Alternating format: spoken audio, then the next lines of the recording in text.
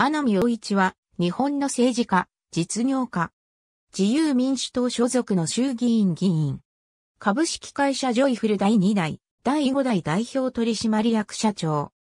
ジョイフル創業者の穴見康夫の長男。同社顧問で、アメイズ副社長の小玉幸子はおば、現社長の穴見くるみは妻、アメイズ現社長の穴見健一は実弟である。大分県佐伯市出身。大分県立大分上野丘高等学校卒業、一浪後入学した法政大学経済学部を3年で中退。大学時代、幸福の科学の学生部に所属。1994年に父が経営するジョイフルに入社。1997年に地域子会社の中国ジョイフルの社長に就任。2002年11月、中国ジョイフル社長兼務のままジョイフル副社長に就任。ドリンクバーや新メニュー導入を全社的に実施、業績の回復に貢献した。2002年11月に中国ジョイフルはジョイフル本社に合併され、2003年3月に父の後を継いでジョイフル社長に就任。2007年に自由民主党の衆議院、大分一区の候補者公募に応募。当初選ばれた候補者が辞退したため、最初の選考委員会の決選投票で辞典だった穴見が繰り上げで選ばれた。フォックタは穴見が幸福の科学信者であり、候補者として選ばれた背景には、幸福の科学の豊富な資金力と教団の選挙支援への期待があったと報じている。選挙活動中は社長を退任することを表明し、同年12月13日に2008年1月1日付で代表権のある会長に就任することとなった。2009年3月26日をもって会長を退任。2009年8月30日の第45回衆議院議員総選挙に自民党公認としてダイブイックより立候補。公明党の推薦も受けたが、民主党のキラ州氏に約6万票という大差をつけられ落選し、比例復活も叶わなかった。落選後は、ジョイフルの顧問に就任している。なお、陽一は、ジョイフルの第4位の大株主で、アナミ個人の資産管理会社である、アナミアセット有限会社名義と合わせると8%弱の株式を保有している。2011年3月24日のジョイフルの定時株主総会で取締役に復帰し、直後の取締役会で代表取締役社長に復帰した。2012年3月23日の定時、株主総会直後の取締役会で社長を妻のくるみに譲り、自らは相談役となったが、代表権は陽一のみが引き続き持っていた。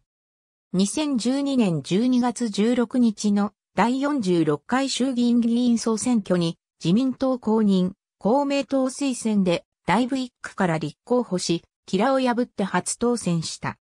2014年12月の第47回衆議院議員総選挙において、大ブイックから立候補し、小選挙区では敗れたものの、重複立候補していた比例90ブロックで、比例復活により再選。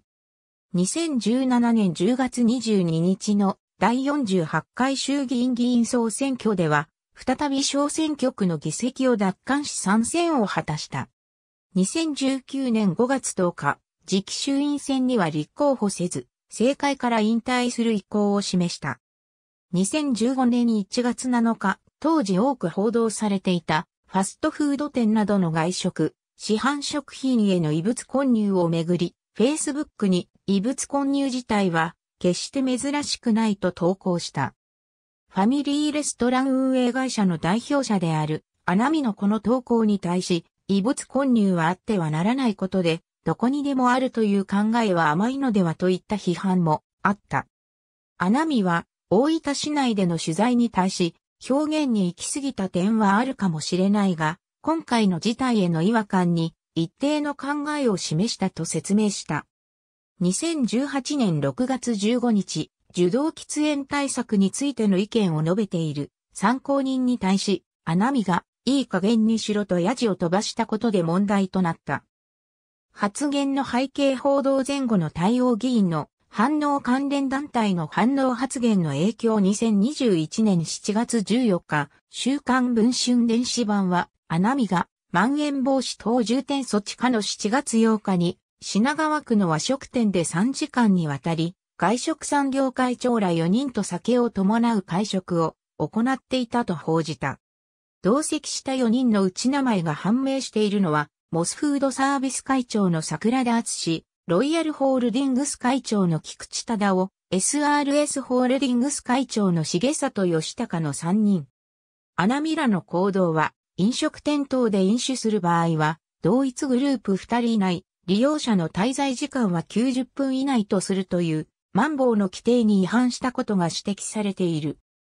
アナミラ4人が理事を務める日本フードサービス協会はコロナ禍で苦しむ業界の利益代表として活発に活動し、当初は個人経営や中小規模の飲食店にしか認められていなかった時短営業の協力金を大企業にも認めるように働きかけ走行。